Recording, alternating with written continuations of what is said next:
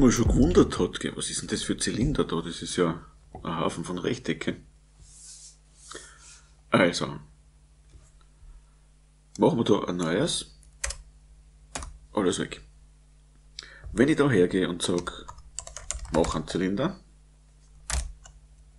vertippt, so, Durchmesser ist 20, Höhe ist 30, F5, dann habe ich da meinen Zylinder.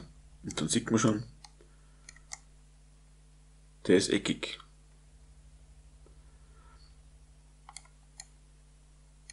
Aber man sieht, das sind lauter Rechtecke. Gell? Und man kann sich sicher vorstellen, ich weiß jetzt nicht, wie viele Ecken der da hat, aber wenn das mehr sind, dann muss der Computer natürlich auch mehr solche Rechtecke ausrechnen.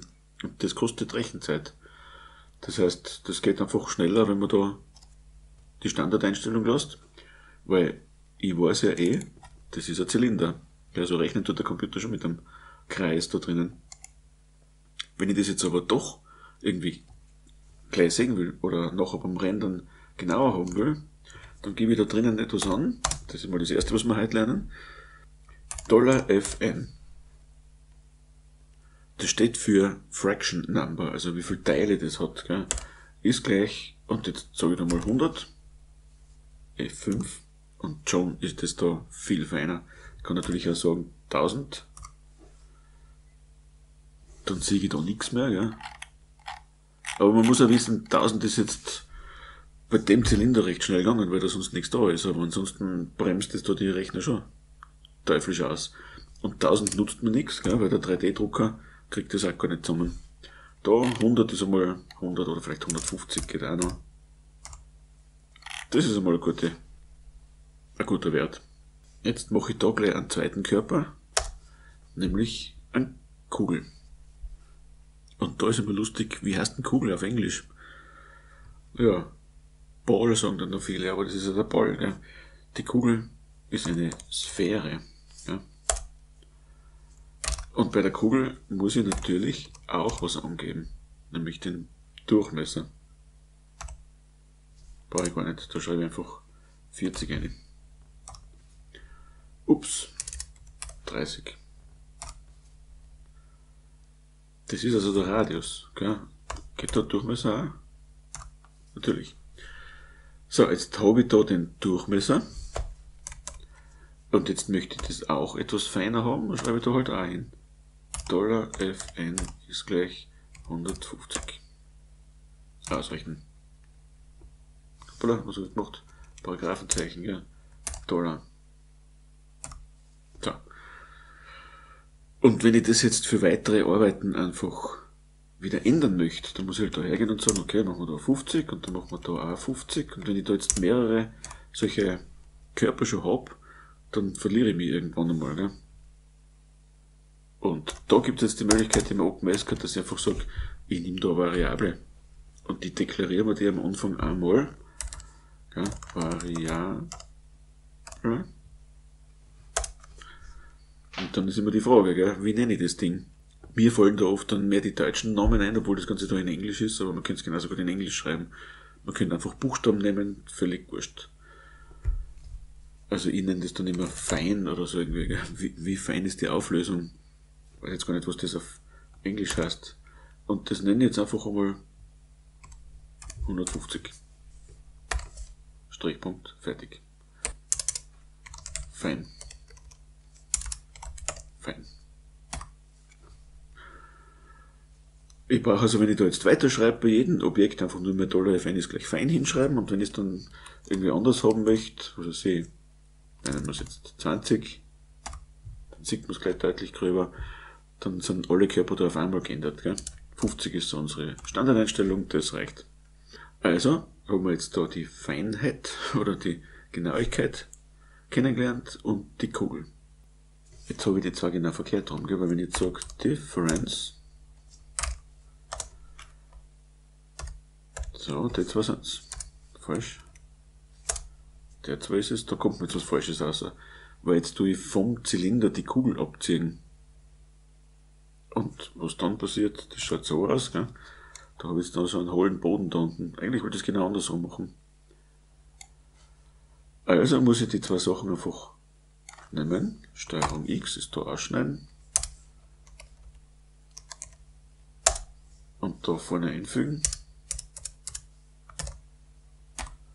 So, und jetzt habe ich da das Loch im Zylinder und letztendlich hätte ich da jetzt irgendwie einen Knauf, den ich wo draufstecken kann. Kann ich zwar so nicht gescheit ausdrucken, aber jetzt sei es einmal dahingestellt.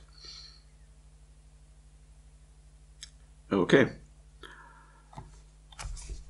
Da wäre jetzt natürlich auch wieder Platz zum Herumprobieren und einfach einmal schauen, wie kann ich denn das machen, dass ich zum Beispiel habe eine Halbkugel, die innen hohl ist und der Wandstärke hat. Selber probieren und dann erst in der Lösung nachschauen, okay?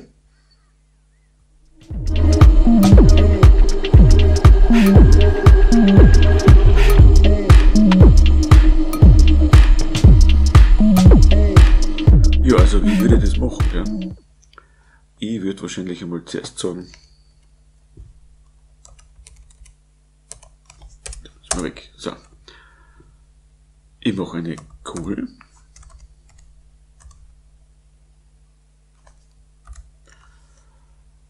Dann nehmen wir Radius ist gleich. Was lassen wir sein? 20. Nehmen wir das gleich dazu. $fn ist fein. Zack, da ist sie. Dann mache ich Cube. Dann muss der Würfel natürlich 40 haben. Ja?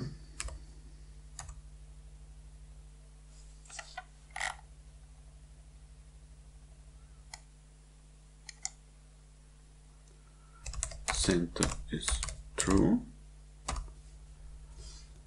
Und den muss ich aber translate.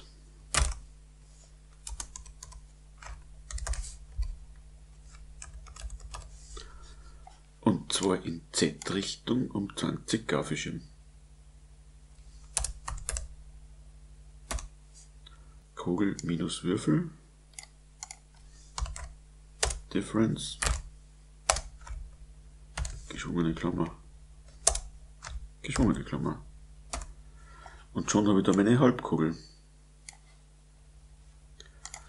Das könnten wir ineinander schachteln auch. Dass ich hergehe und sage, ich mache da eine zweite Sphäre.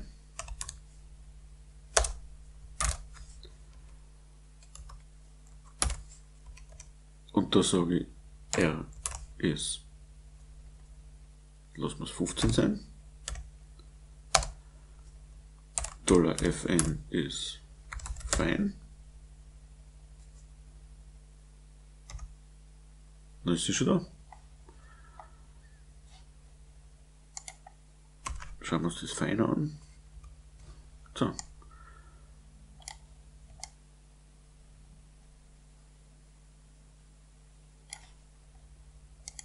Wie schaut das aus, wenn wir das mehr machen? Dünnerer Rand. Passt. Halbkugel ist fertig. So leicht war das.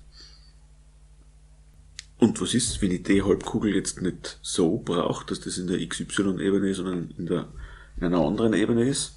Ja, ich kann da Figuren einfach rotieren auch. Ja, da sage ich einfach Rotate. So.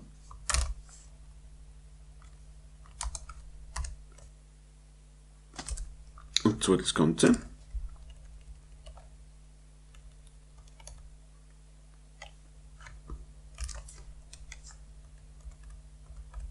So. Wir rotieren das um die x-Achse. Einfach um 90 Grad. Und dann ist sie da. Ich kann es jetzt zusätzlich auch noch um die z-Achse um 90 Grad drehen, dann habe sie da. Das müssen ja nicht 90 Grad sein, das können auch 45 Grad sein, wie man es gerade braucht. So, das war jetzt wieder viel für heute. Wir haben also das Dollar FN kennengelernt, wie man die Teilung ein bisschen erhöhen kann, dass das feiner aufgelöst wird. wir haben die Kugel gezeichnet, wir haben eine Hohlkugel gemacht, wir haben eine Halbkugel gemacht und wir haben das Ganze rotiert. Wieder was gelernt. Viel Spaß beim Herumprobieren.